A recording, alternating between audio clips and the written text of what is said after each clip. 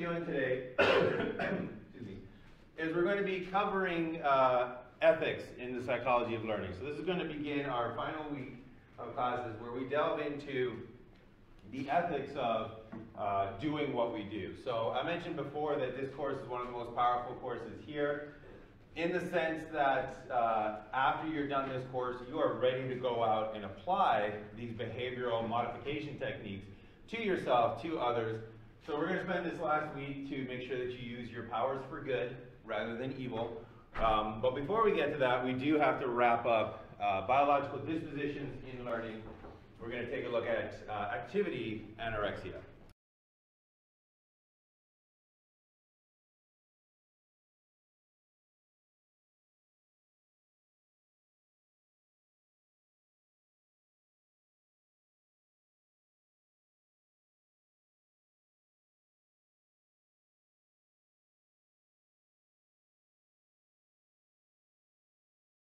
So what we're going to do today is we're going to finish up our look at biological dispositions and behavior by taking a look at uh, activity anorexia. And then uh, we are going to introduce the idea of the ethical principles uh, of psychologists, uh, just a general uh, guideline for the code of conduct. We're going to mention very briefly the idea of speciesism. So uh, it is another one of those isms where we judge animals differently uh, than humans, and we'll briefly discuss uh, the issues along with that. And then finally, we'll uh, take a look at uh, some specific guidelines for the ethical conduct in the care and use of uh, non-human uh, animals in research. So if you do research on animal psychology, for example, there are rules and guidelines that go in. So we'll briefly mention those. We won't spend too much time on that because you do have that for your readings. Uh, you do have that in the notes that you can peruse through it. But we'll talk about the point of all these uh, rules, and then we're going to take a look at the movie White Dog, the first uh, half of it. And this is a, I, I choose this movie for, for two reasons. Number one, it probably, outside of one little concept that it tries to squeeze in there, I think, for dramatic purposes, it's probably one of the most psychologically accurate displays of learning uh, in a movie. So you will see just about everything that we've gone through uh, this semester. You'll see operant conditioning, you'll see classical conditioning, you'll see discriminative stimuli for reinforcement, they'll mention spontaneous conditioning, they'll go through extinction, they'll go through intermittent, um, uh, intermittent uh, uh, reinforcement. They basically, uh, it's a very scientifically accurate portrayal of learning, but it also is a very dramatic example of what happens when ethics are violated. So one of the things that ethics does is it protects people. And what it protects is it protects individuals that you do psychology with, and it protects the psychologists themselves. And we're going to see what happens when those protections are ignored. Uh, it leads to very harmful situations.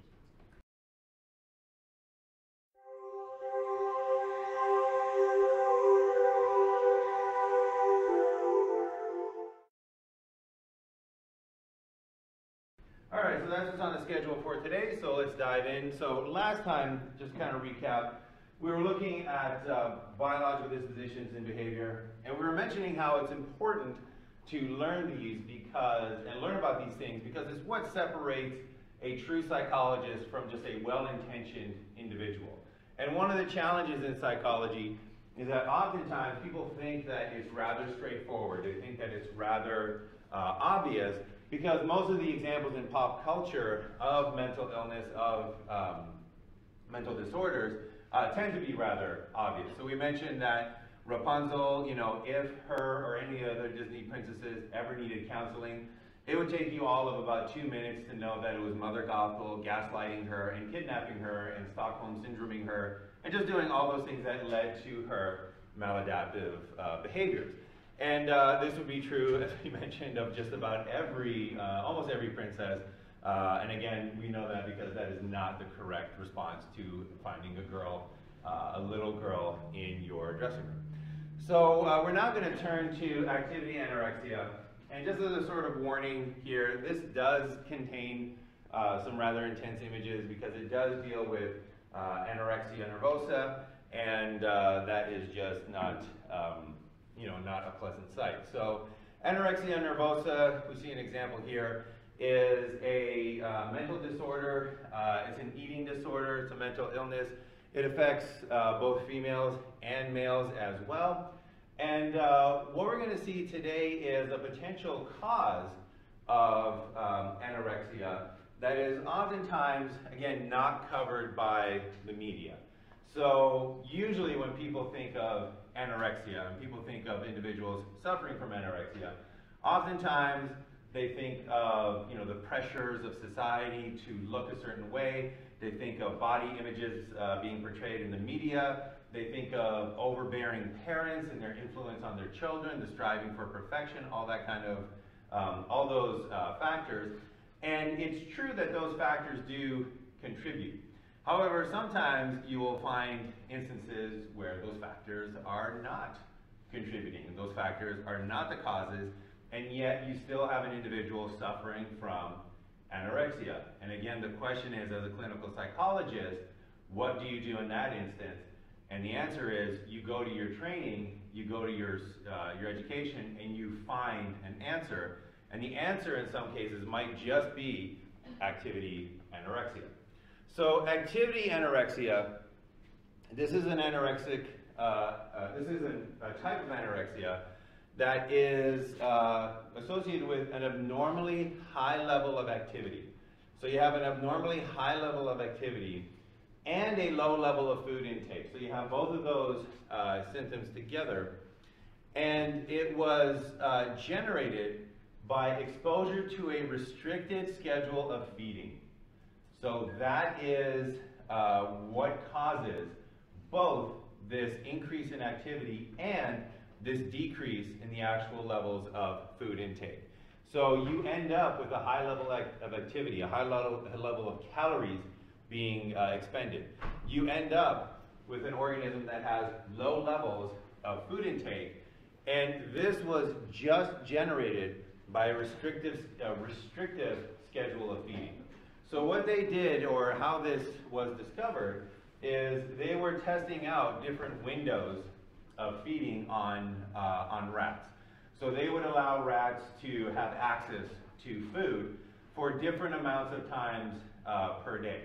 And what they found was that when that schedule of feeding was restricted um, to a certain extent, not only would rats all of a sudden increase their levels of activity by a massive amount, so they would run, uh, they would run uh, incessantly on their uh, running wheel, but also, when the food finally was available, they would eat less of it.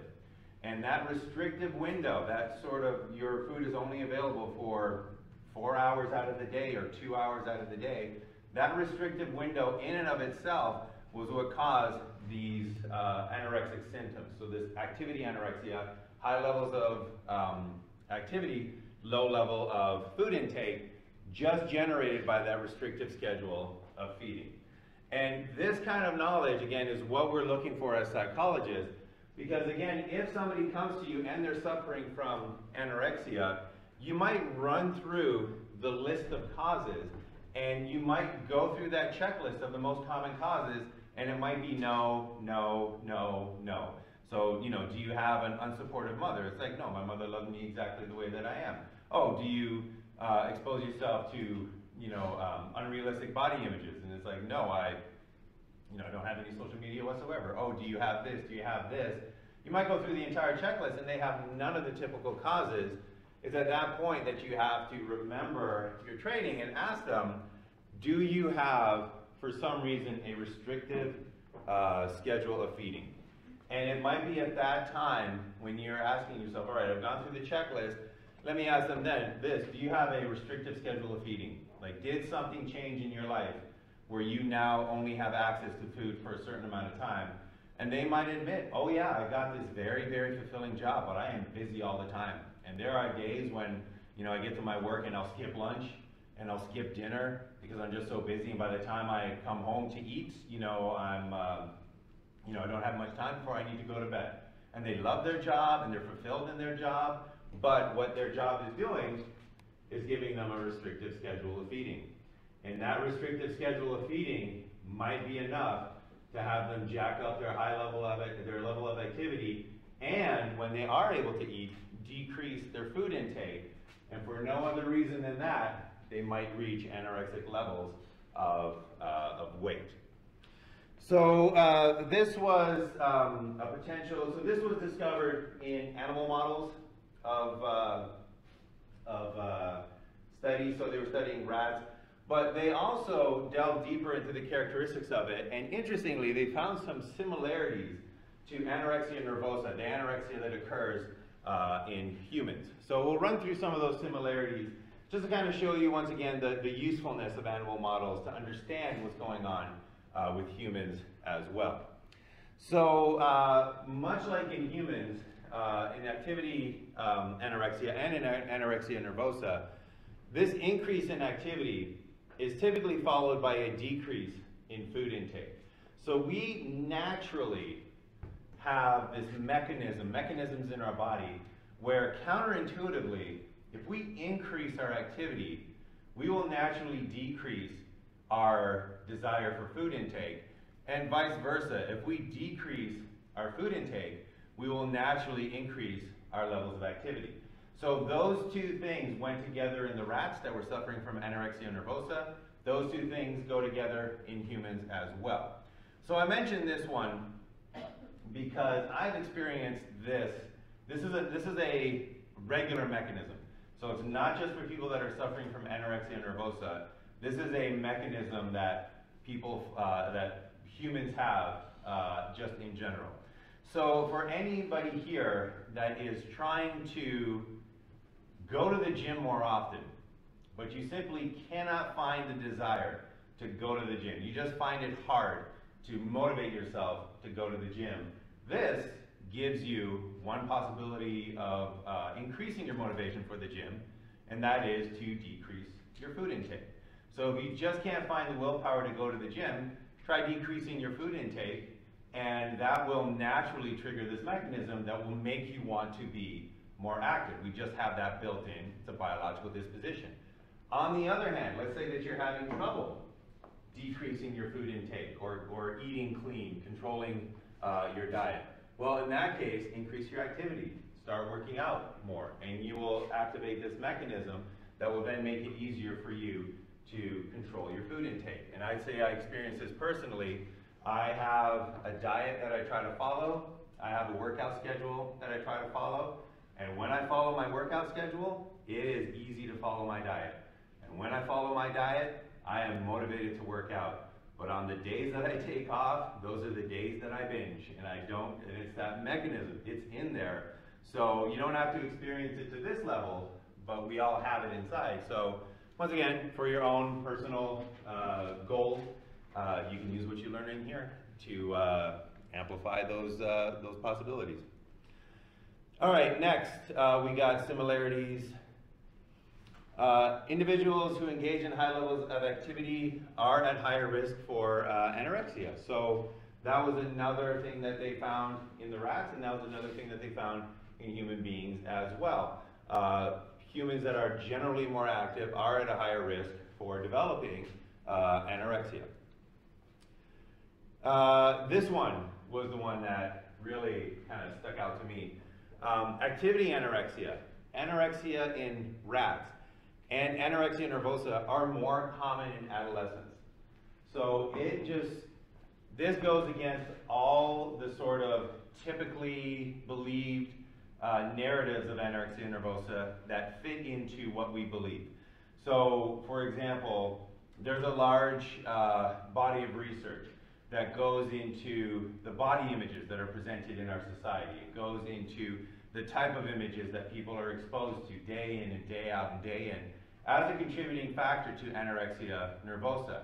However, that cannot be the only thing because adolescent rats are not scrolling Facebook and looking at their other adolescent rats and wondering why don't they have the body of that other adolescent rat, not realizing that that other adolescent rat is photoshopping all their posts and presenting their best selves, right? They don't have all those other factors. So if we really want to help people and understand what anorexia nervosa really involves, part of it for sure, and there's research to back this up, is that idea of how we present images of bodies in our media. But something like this indicates it cannot be the only factor because rats are developing anorexia, activity anorexia, more commonly in adolescence, like in humans more commonly in adolescence, and it can't be any of those social media factors, um, so there has to be another aspect to it. So it's a nice little reminder to try to get a complete understanding of behavior and not just uh, go for the intuitively um, uh, obvious or intuitively satisfying results. All right, and uh, oh, this is another one in, in, individuals with activity anorexia and in individuals with anorexia nervosa. They're actually very interested in food. So it's not that they try to avoid food, they try to avoid eating food, but they will show extra interest in food. They will show extra, you know, they'll want to see it, they'll want to, uh, uh, to smell it, they'll want to read about it, they'll want to watch, you know, Nailed It and Sugar Rush and all those cooking shows. Um, same thing with rats. The rats were shown to still be very interested in food. They just lowered their food intake. All right, so that is the, uh, the wrap up on uh, biological dispositions of behavior. And once again, this, just as a sort of reminder, is why we're all sitting here today to learn how to help individuals. It's not enough to be intuitive, it's not enough to be caring. This is nothing that anybody, I think, would ever think of naturally, given our information in our society. But as psychologists, it's our responsibility to know this information so that when the time comes, we can actually help individuals with their behavior issues. All right, so any final questions on activity anorexia or biological dispositions?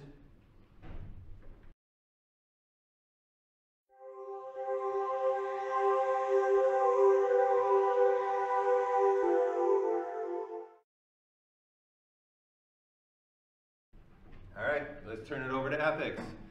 So what we're going to do today uh, for ethics is we're going to very briefly kind of touch on uh, the five general ethical principles, and then we'll discuss speciesism, and then we'll um, uh, take a look at, probably we'll, at that point we'll have to turn it over to the movie because I do want to get to a certain point uh, so that we can think about it over the next couple of days. But um, in terms of the ethical principles of psychologists and your code of conduct, oftentimes in psychology, you're presented with new situations and you might ask yourself, what should I do? What's the right thing to do? What's the best thing to do? What's the ethical thing to do in this situation? And to help that, the uh, American Psychological Association, the APA, they have given out five principles that are these general principles for how every psychologist should act. So it doesn't matter if you're a clinical psychologist, experimental psychologist, school psychologist, uh, animal psychologists. These apply to all psychologists. So they're um, listed um, in terms of, some would argue, order of importance. Definitely that first one there is the big one. It's the big guiding umbrella idea that, uh, that informs all the rest. So we'll take a look at that principle A first. So principle A is beneficence and non-maleficence. And what that basically says is that as a psychologist, you strive to benefit those that you work with and you take care to do no harm. So you're basically trying to do what's best for the individual and you take care to do no harm to the individual or minimize any harm to the individual because you can't always not harm an individual. So for example, a great example of that is Harry. Harry literally had to be harmed as part of his uh, as part of his treatment, but that was balanced with the great benefit that was accrued to him from not being self-injurious. So we try to benefit those that we work with and we take care to do no harm. That's principle A. Principle B, fidelity and responsibility. So psychologists establish uh, or try to establish uh, relationships of trust with those that they work with. This is a especially difficult uh, as a psychologist because psychologists have a history of using experimental deception and uh, basically there is the um, view in our society, the trope of the sort of manipulative psychologist the psychologist who is sitting there in the chair while you're in the, on the couch telling them about your life story and they're secretly judging you and they're secretly manipulating your behavior. So we kind of have to work twice as hard as other professions to establish those um, relationships of trust. But it is important to, number one, establish those. And then also, number two, to be aware of your uh, professional uh, responsibilities, your scientific responsibilities to the society and the specific communities in which you work. So we do have a responsibility here to South Bend, we do have a responsibility here to this university, and we have a responsibility to psychology in general uh, to do our best um, work and our ethical work. Principle C, integrity. Psychologists seek to promote accuracy, honesty, and truthfulness in the science, teaching, and practice of psychology. So that one is pretty self-explanatory.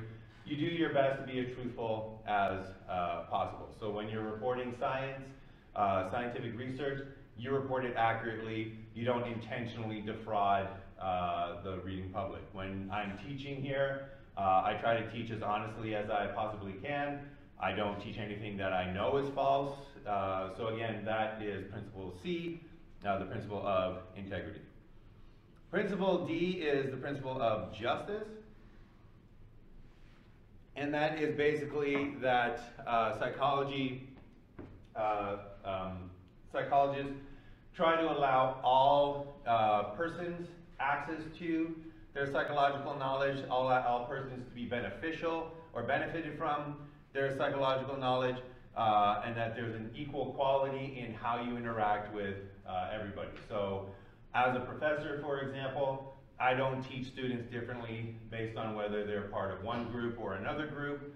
Um, now, this, uh, this does not mean that you are unethical if you're a child psychologist and you basically say, I'm going to focus on children, so if you're over 18, you know, I'm sorry, but I can't help you. That's just the nature of spe uh, specializing in certain areas. But it does mean that if you are a child psychologist, all children should be able to benefit from the work that you do. So we're not racist, we're not sexist. Um, we uh, believe in justice for, uh, for all. And then finally, principle E, uh, respect for people's rights and dignity. Psychologists respect the dignity and worth of all people and the rights of individuals to privacy, confidentiality, and self-determination. So this is big issues, especially with psychology, especially with stigma that can be attached to mental illnesses, mental disorders, stigma that can be attached to personal feelings, personal ideas uh, in research, for example. So privacy is whether or not you uh, choose to share certain information. So we respect an individual's right to determine what they want to share in terms of their information. Confidentiality, we respect a person's right to, uh, if they do share their information, for access to it to be restricted. So for example, in terms of raw data in my experiments, I have access to that raw data, but if you ask me to see the raw data for one of my experiments, I would have to say no, because that is part of the agreement of confidentiality. And also self-determination, uh, what happened to the particular individual. So once again, in an experimental situation is the one that I'm most familiar with. Uh, subjects are allowed to leave the experiment at any time they have that right to self-determine what happens to them. And if after 10 minutes in the experiment, they feel that they don't want to participate anymore, we respect their right to self-determination.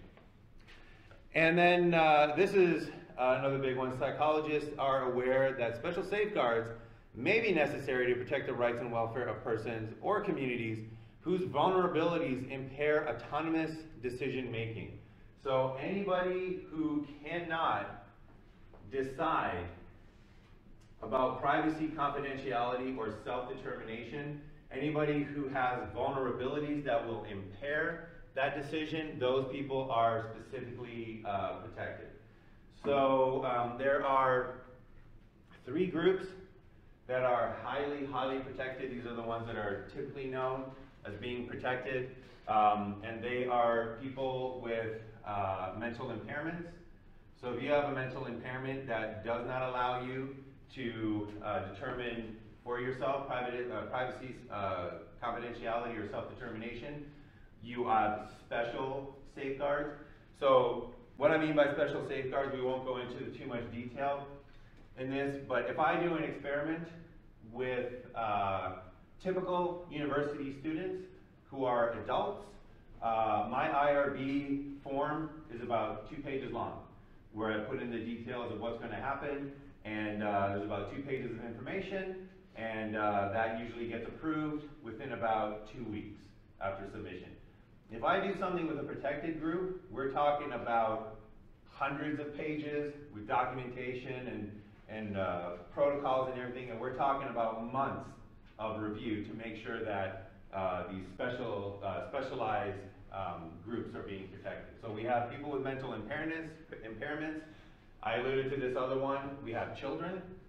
If you're doing work with children, children, we don't allow them to vote for a reason or decide if they're going to go to school for a reason because their self-determination, um, their ability to self-determine is not quite there yet, so they're highly protected.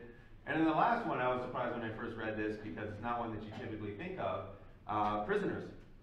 Prisoners are a highly protected group because, by definition, uh, they lack self-determination, right? So they, uh, they can't decide my prison sentence is up and I'm just going to leave today. Uh, they lack self-determination. So whether or not they have the ability to maintain privacy, maintain confidentiality, is an issue that requires these very uh, high safeguards.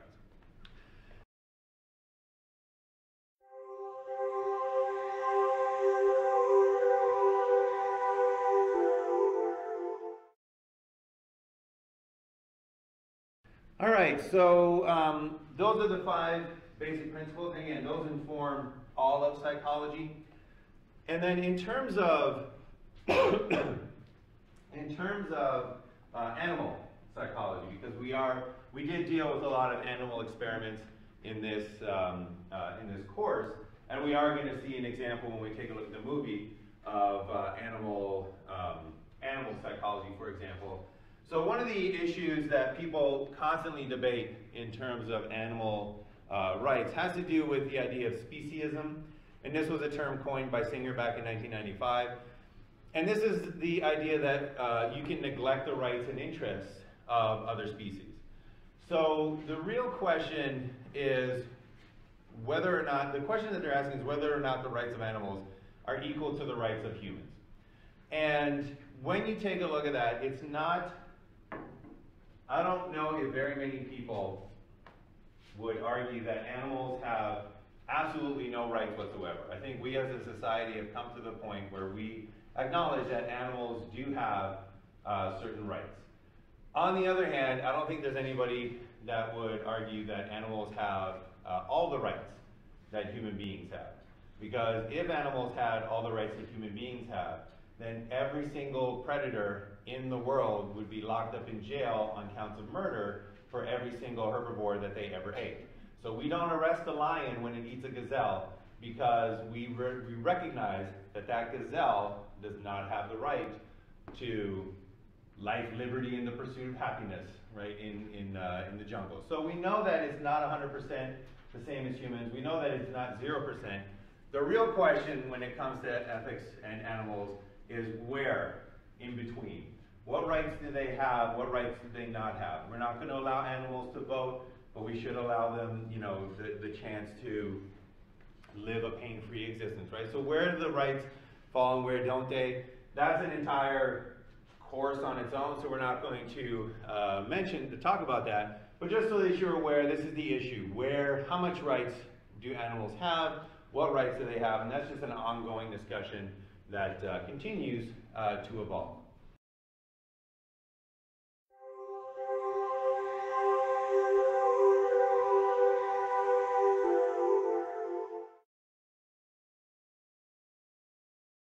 However, on that note, just so that you know, there is an entire section of guidelines for the use of non-human animals in uh, research. And typically, what happens in research is uh, in a research setting, the animals are actually kept in a better situation than they would have in the wild. So if you do research about what animals are like uh, in the wild, they are literally, if you're a prey in the wild, you have two decisions to make every single day. You have the decision of, do I stay in my protective home and starve to death? Or do I go outside looking for food and potentially get murdered? So your choice every single day is starve to death or get murdered. And if you think that that's a stressful environment to live in, you're absolutely right. Um, in a lab, we typically keep animals, if you're feeding animals, you have to restrict their food intake to motivate them to perform in an experiment. They are typically heavier in the lab than they would be in nature, for example. So all of these principles are again in place to protect these animals uh, and the rights of these animals. So in terms of why you're doing the research, the research has to be uh, justified to uh, a certain level. You can't just be replicating something that was uh, done before and just say, well, I'm just going to do it again just to see if it's still going to occur. There has to be certain levels of justification. There has to be, we'll just kind of run through this because I do want to get to the first part of the movie, but you can read uh, for some of the details. The personnel that are interacting with the animals have to be properly trained. That's one of the ethical principles as well. Uh, they need to know how to handle the animal. Care and housing of laboratory animals. They need to be housed in the correct, uh, in the correct way. People have to be knowledgeable about how they're housed. Uh, acquisition of laboratory animals. You can't just get laboratory animals from anywhere. They have to be from approved uh, places that have passed the tests and acquired the licenses uh, in order for you to ethically acquire animals from those purposes. And then just on experimental procedures, how to conduct all that, uh, there is a lot of protection there uh, for animals. Whoops. And there should have been protection for white dog, but as we're going to see, there wasn't. All right, so any questions on anything that we've kind of just really quickly gone through? All right.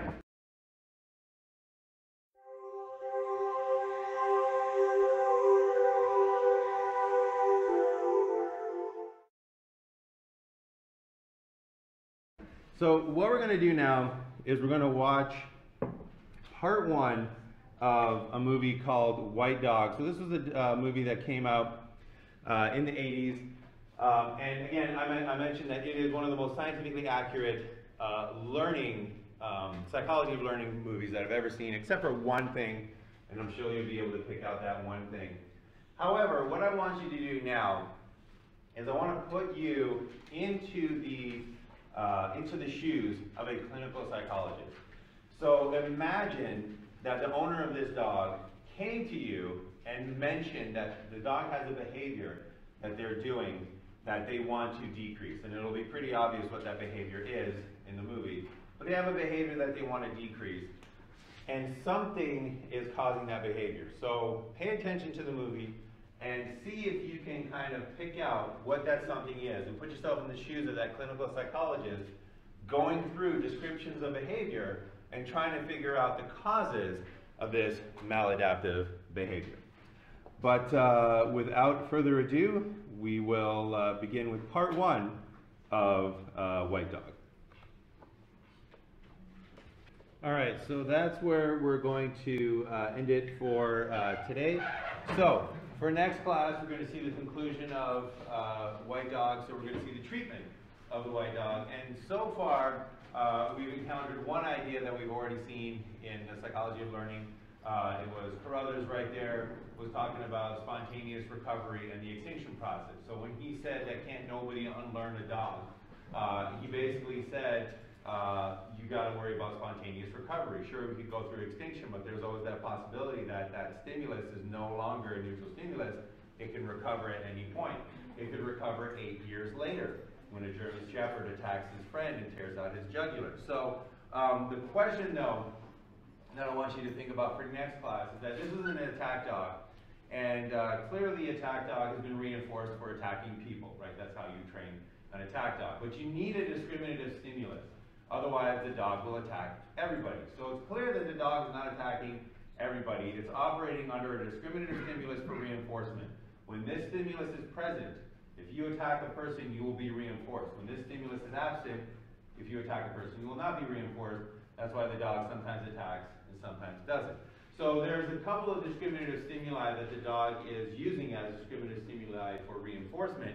So your task before we come back for next class, is to try to analyze the behavior that you have seen this, this dog perform and ask yourself, what is that discriminative stimulus for reinforcement? And uh, we'll see what uh, we come up with next time. But uh, for today, that's where we're going to end. So next time, we're going to watch part two of White Dog, and we're also going to see how all of this harm, so the harm is accumulating, it's not done yet, uh, all of this harm that is occurring comes back to a single unethical decision that the owner, uh, the original owner of the White Dog made, and again, just highlighting that importance of ethical considerations. Other than that, we are done for today.